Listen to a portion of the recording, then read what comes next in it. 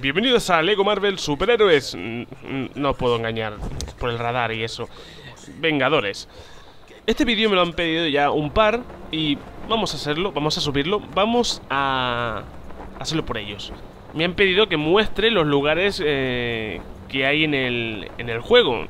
En este caso, por ejemplo, ahora mismo estoy dando una vueltita por Manhattan, que es la, la ciudad habitual mm, del anterior Lego de Marvel, Superhéroes. Básicamente viene siendo lo mismo, lo único que cambia es que, por ejemplo, la mansión de los X-Men no está y está la base de los Vengadores allí. La torre que trabaja Peter Parker, Spider-Man, no, no está, por ejemplo. Pero lo curioso es que este juego tiene otros lugares que visitar. Y vamos a comenzar con... Pues la base de, S.H.I.E.L.D. Está muy aislado, eh, oscuro. eh, se podría decir que es como el Área 51. Bueno, oscuro es porque es de noche. Los lugares son chiquititos. Vamos a pasar a... Sudáfrica. Donde está ese comercial mm, del mercado negro, el vendedor de armas. Comparado con Manhattan, los lugares son algo chiquititos, pero tienen una serie de, de cosas que, que completar, como misiones, ladrillos rojos eh, y personajes sueltos. Infinidad de cosas. Vámonos a, a la granja de nuestro querido amigo Ojo de Halcón, donde él vive con su mujer. Mira, hay un Rex ahí. Mm, Interesante. Eso antes no estaba, ¿eh? Puede ser que haya aparecido por haber completado todo el modo libre al 100% en las 15 misiones. Recordar, y lo voy a decir en todos los vídeos, que si no encontráis ningún personaje, mirad la lista de reproducciones, porque puede que os falte algo. Estamos en Sogovia, bueno, Segovia, no me acuerdo ahora cómo se pronunciaba, pero sí, un destrozo. eh, estamos aquí que todavía está en el aire, flotando, no ha caído, no se... bueno, porque a lo mejor quedan cosas que hacer, ayudar a gente, etcétera. Lo mismo de siempre, misiones, ladrillos dorados, en fin. Y también, como estáis viendo, podemos visitar Washington. Si nos damos cuenta de la ciudad del fondo en Manhattan. Creo.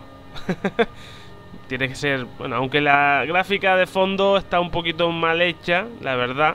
¿M? Pero es lo que hay. Esto es lo que toca en este lugar. Lo mismo, hay misiones, ladrillos dorados que completar.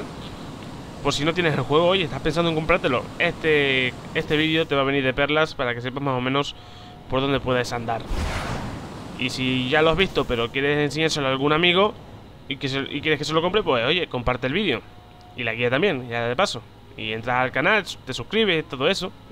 Os digo que está mal hecho el fondo. Es que está mal hecho, mal hecho. Ya me podrían haber dejado ir para allá. Que tienen privilegio. Bueno, estamos en Malibú, la casa de Tony Stark y su playa.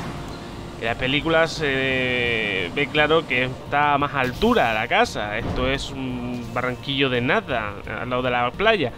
Pero bueno, mm, es Lego. El Lego es todo más pequeño. Así que, perfecto. Es pequeño también el lugar, así que no os emocionéis. Fijaros, acabo de conseguir el logro de Trotamundos. ¿Por qué? Porque he visitado el último lugar, es, dec- es decir, Asgard. Asgard, Asgard. El lugar de los supuestos dioses que sangran. Logro Trotamundos. Ese ya sabemos cómo se desbloquea, ¿eh? Ojo.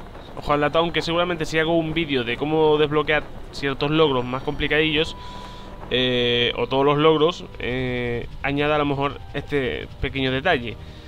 Quién sabe. Pues esto es todo, no quiero marearos más. Estos son todos los lugares del Lego Marvel Los Vengadores que puedes visitar y empezar a, pues, disfrutar de, de misiones, etcétera, etcétera, etcétera. No quiero entretener esto mucho más. Espero que les haya gustado. Compartir, suscribiros y nos vemos en un próximo vídeo. Hasta luego, chicos y chicas.